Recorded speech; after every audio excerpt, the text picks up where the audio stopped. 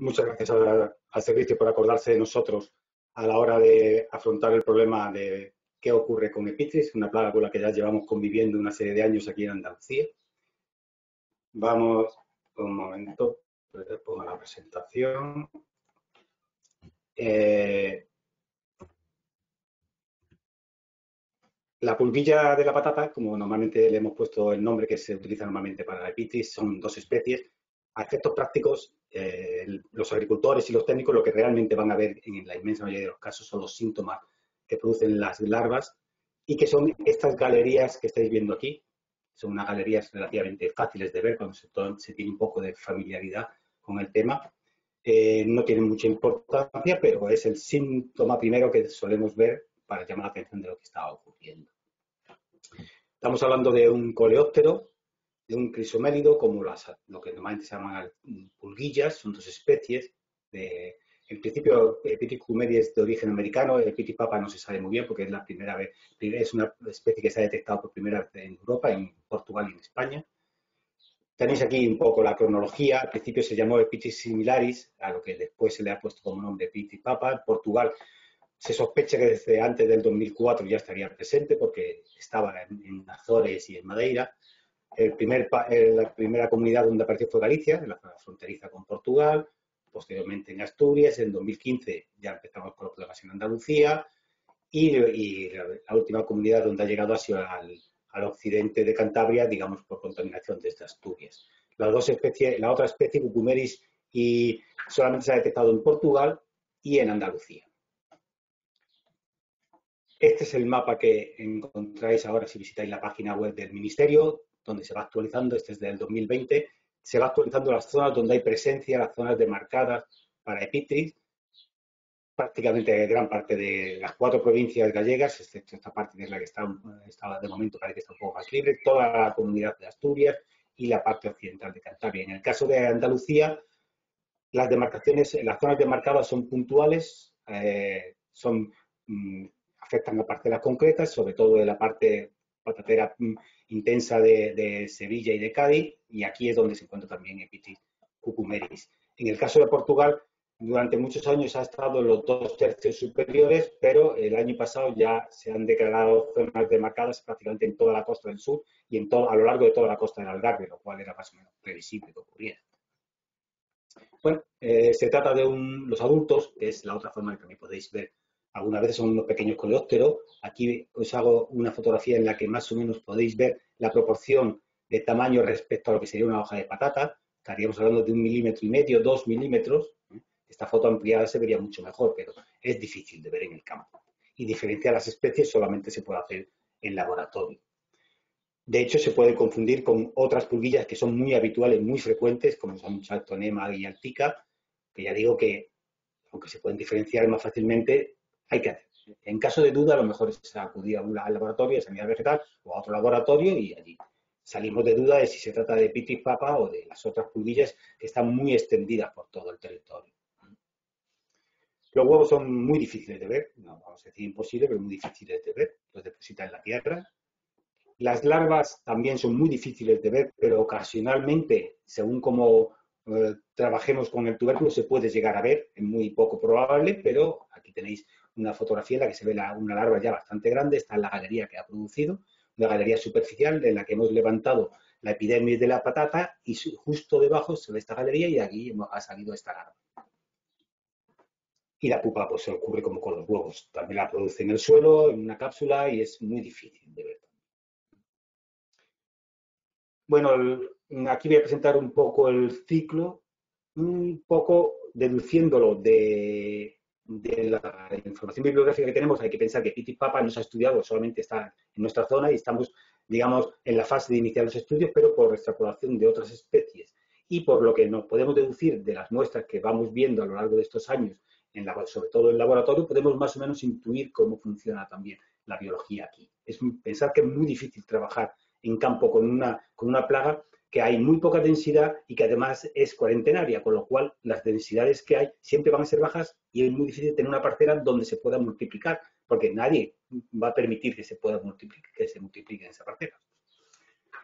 Mm, En principio vamos a pensar que los adultos eh, invernan en el, suelo, los restos de cosecha, entre la vegetación espontánea, aunque cabría la posibilidad de que en nuestra zona, sobre todo en la parte de la provincia de Cádiz, que es una zona más templada, es probable que incluso no llegue a hibernar en ningún momento, simplemente reduzca su actividad es cierto que en primavera es cuando lo empezamos a ver, a partir de finales de marzo aproximadamente, es cuando ya tenemos constancia de que sí están presentes, pero no quiere decir que no estén antes, aunque porque las poblaciones son muy reducidas y son muy difíciles de encontrar. Eh, sí parece que está respondiendo al umbral que hay estudiado para Pitris Papa, que sería de 8 grados centígrados, es decir, con mínimas por debajo de 8 grados centígrados no, no estamos viendo por presencia en el campo, lo cual en una zona como la nuestra y probablemente en Murcia lo restringe a una ventana muy corta, que prácticamente estaríamos hablando del mes de enero, febrero, como mucho. Algunos años ni eso siquiera. Esos adultos procedentes del invierno se encuentran ya las plantas emergidas, eh, muy bien, están bastante bien sincronizados con el ciclo, unas plantas ya que les sirve para detectar dónde está la patata. estos adultos depositan los huevos en el cuello, de, eh, la puesta es, mm, bastante escalonada, se, habla entre 50 y 100 días, con lo cual puede haber, en, todo momento puede haber una, población muy dilatada. La incubación de 7 a 9 días, perdón. Emergen, de esos huevos emergen unas larvas que primero van al sistema radicular y también van a los tubérculos. viven entre 2 4 semanas y eh, nosotros, en nuestro caso concreto, con, eh, sobre patata temprana, lo de la hemos detectado desde mediados de abril hasta mediados de mayo. En esos periodos, durante ese, ese mes aproximadamente, aunque en algunos muestros muy puntuales de una patata ya un poquito fuera de, de temporada, en junio también hemos llegado a encontrar larvas. Las galerías, sin embargo, se encuentran desde mediados de abril hasta prácticamente hasta la recolección, porque la galería no se pierde, la, larva emerge y desaparece, pero la galería permanece en el tubérculo, con lo cual desde mediados de abril hasta la recolección de cada, de cada parcela se pueden encontrar galerías. Pues realiza la pupa en una cámara terrosa de unos 5 o 10 días, lo que nos viene a dar un ciclo que puede estar en condiciones óptimas que eh, probablemente en, esta, en este momento, hacia el mes de abril, mayo, eh, son condiciones prácticamente óptimas para el pitri y el ciclo estaríamos hablando de un mes, mes y medio como mucho. En verano, eh, bueno, los adultos ya en estas fechas ya empiezan a aparecer los primeros adultos, cada vez al principio muy poco y cuando ya llegamos al mes de junio es relativamente fácil ver adultos en las parcelas que sabemos que están atacadas, que no es una cosa muy habitual. El verano lo pasa en, en vegetación espontánea y en cultivos hortícolas, es decir, se refugia pero si le damos buenas condiciones y tenemos cultivos hortícolas con, riego y buena cubrición del terreno, se encuentran adultos también. Con lo cual tenemos seguro una generación en primavera, surgen dudas de si podría haber una segunda para patata que está un poco fuera de ciclo, que sea de recolección muy tardía, que no es habitual. Lo más probable es que esas larvas tardías que hemos encontrado correspondan más bien a la misma puesta de los primeros adultos, pero ah, dilatada en el tiempo. Entonces, podemos hablar de seguro una generación de primavera. Luego, en patata esta temprana, tenemos eh, una segunda, una otra generación, digamos, que es la generación de otoño-invierno, en la que hemos encontrado que hay adultos a lo largo del mes de octubre y noviembre, que es la que haría la puesta sobre esta patata sembrada en septiembre-octubre, y hemos encontrado puntualmente galerías en los meses de diciembre y enero sobre esta patata, cuando se cosecha eh, de forma precoz. Eh, eh, esta generación es mucho menor, también es verdad que hay muy poca patata en nuestra zona de esta, con este ciclo y probablemente el, verano es un, eh, en nuestras condiciones es un periodo muy adverso para esta plaga por su biología. Procede, es una plaga que procede, el clima óptico, óptimo, estamos hablando del norte de Estados Unidos y el sur de Canadá. Es un clima que para Galicia puede ser bastante bueno, pero para nosotros el verano puede ser limitante. Entonces las poblaciones son muy bajas, pero ocurre. O sea, es una forma de ir completando el ciclo. Los síntomas que pueden ver de la alimentación de los adultos es muy difícil verla, porque tendría que haber una población muy alta, es esta especie de, cribado. Aquí veríamos un adulto y es esta especie de cribado que se puede confundir casi con muchas otras plagas, puede ser de orugas, de colémbolo, y solamente lo hemos visto en huertos donde ha habido una concentración altísima de adultos, es una cosa muy poco, muy poco evidente. El daño, los síntomas y el daño verdadero es el que producen las larvas la larva produce dentro de la, en, la superficie de la patata del tubérculo estas galerías, aquí veríamos una larva blanquecina, la que hemos levantado la, parte de arriba de la piel, es totalmente superficial, De hecho, en cuanto a la patata, si el ataque es temprano y la patata sigue creciendo, lo normal es que se pierda la capa de arriba y, se, queda una grietecita muy finita, no profundiza prácticamente nada, es muy superficial, suele ser sinuosa, es muy habitual que presente eh, bifurcaciones, digamos como una Y y demás, pero mm, bueno, aunque con, el tiempo te familiarizas y es relativamente fácil de ver, mm, digamos que hace falta familiarizarse mucho con esta galería.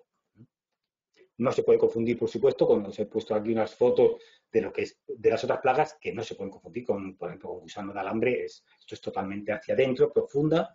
Eh, la, palomilla, por ejemplo, Torimea, es una galería totalmente distinta, es una oruga, los son coleópteros, es muchísimo más grande, muchísimo más, gruesa, no tiene nada que confundir se, confundiría menos todavía con la otra plaga que ahora mismo está localizada en Galicia y Asturias, que sería Tecia, que esta sí hace un daño muy grave, extremadamente grave, y esperemos que, no la lleguemos a tener en nuestra zona. No se puede confundir porque ya digo que Epitis es una galería absolutamente superficial que cuando eh, intentamos pelarla se pierde. El hospedante fundamental es la patata, clarísimamente pero también puede atacar otras solanáceas, fundamentalmente mm, de las cultivadas, tomate y berenjena. Y en tras espontáneas, tanto el estramonio como el tomatito eh, son buenos huéspedes, especialmente Solanum nigrum. El tomatito es muy, muy atractivo, se ha comprobado que puede cerrar el ciclo y de hecho es un buen cebo para, donde, para encontrar epítetos una vez que hemos quitado ya la,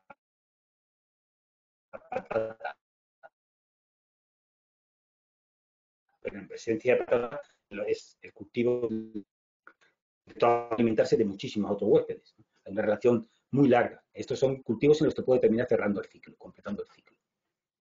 En cuanto a muestreo, no voy a entrar en el tema porque, bueno, pues es, es, bastante más complejo. Quien tenga interés, hay un plan de contingencia que está publicado en la página web del Ministerio. La última actualización es de hace unos meses, donde se detalla completamente todo lo que hay que, todo esto que estamos hablando, todo lo que tenemos que hacer de muestreo, medidas de control y demás. es un plan bastante elaborado como el que se está haciendo para todas las plagas de cuarentena.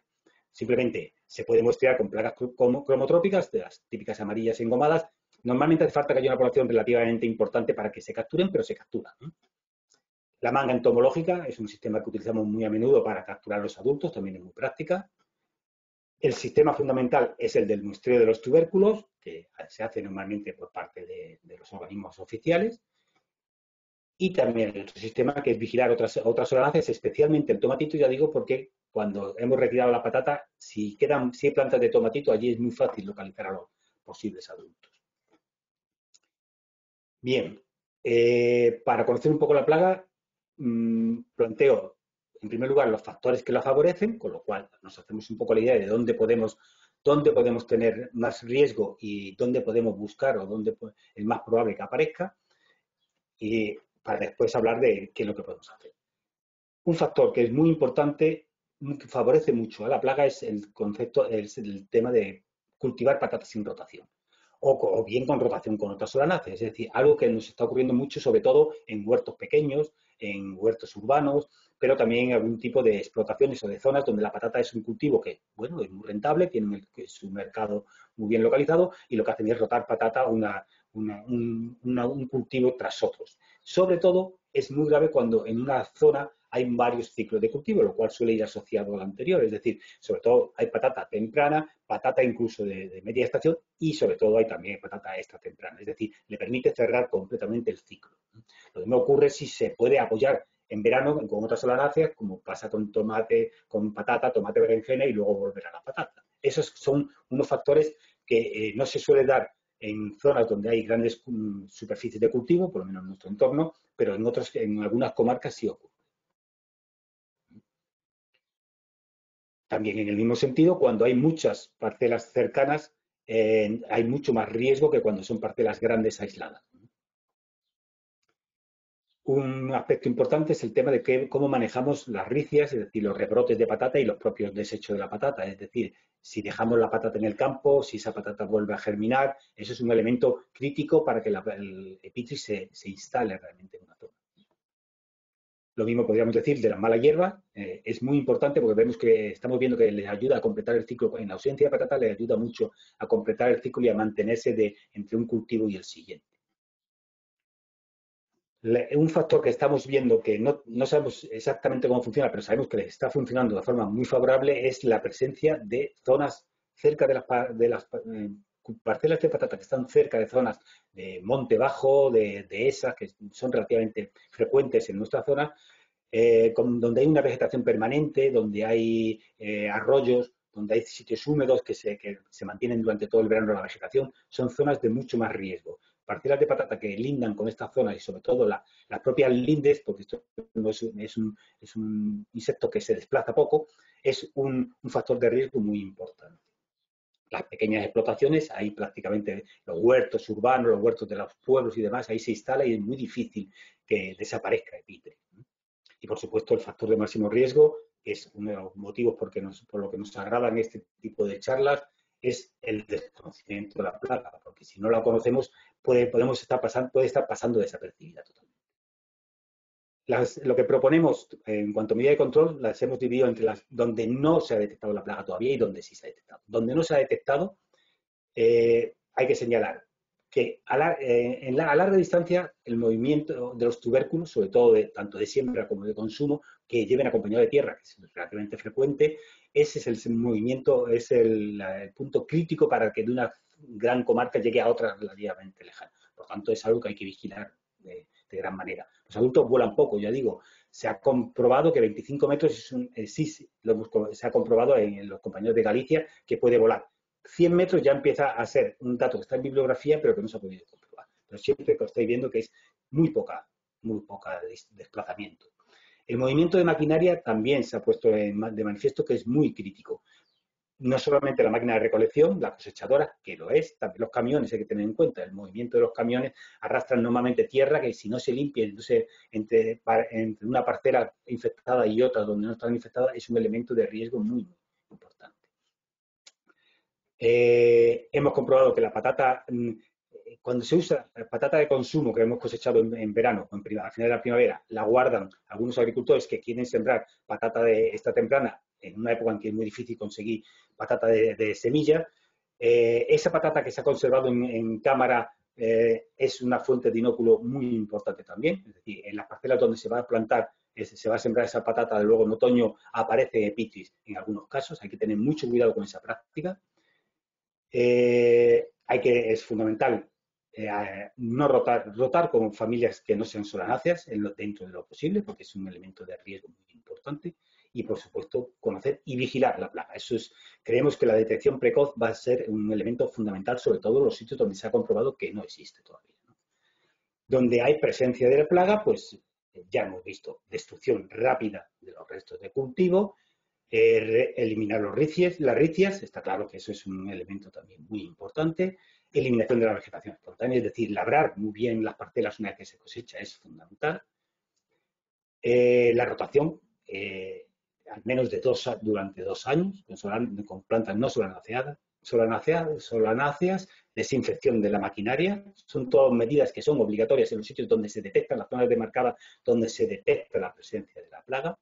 Es muy importante la gestión de los almacenes donde se limpia o se lava la patata, que es una de las medidas que, que hay que hacer cuando se quiere exportar patata de zonas de marca, se puede, se quiere sacar de las zonas demarcadas. Y por último, el control químico, que también es muy importante para poder seguir cultivando la patata, como de hecho se está haciendo en muchas zonas.